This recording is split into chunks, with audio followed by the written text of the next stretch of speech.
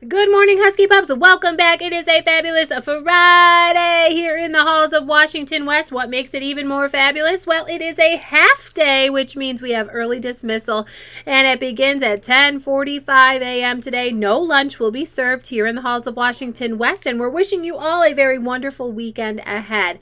A very, very big shout out going out to our Challenge 24 team here at Washington West. I'm going to put up a picture of that challenge 24 team, and I want you all to say woohoo as you are watching them across your screen.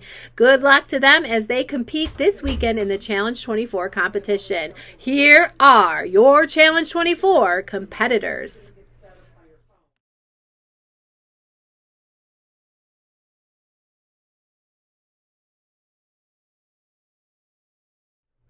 All right, Challenge 24 competitors, you've got this. You are going to make Washington West proud. I know you certainly will. Good luck to you all. And hey, for the rest of our Husky pups out there, just a reminder that the Niagara chocolate sales are still going on strong. If you are interested in ordering, you can click on the link posted in Parent Square and order away until April 4th. All orders will be delivered to your doorstep, which makes it even more incredible to enjoy a delicious treat this Easter season.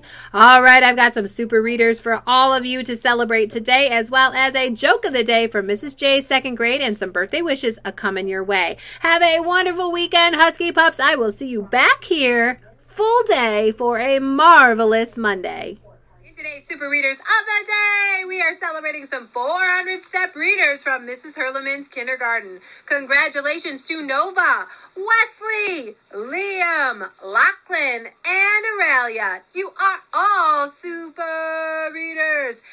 to this super reader from first grade who has recently leveled up, congratulations going out to you, Quinny Johnson. You are a super reader. To the rest of our other Husky pups, remember, don't stop the reading.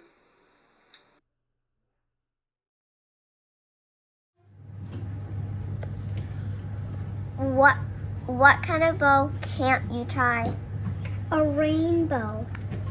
Happy birthday to you. Happy birthday to you. Happy birthday wishes today are going out to you, Apollo Drayton, and to you, Maggie Budai.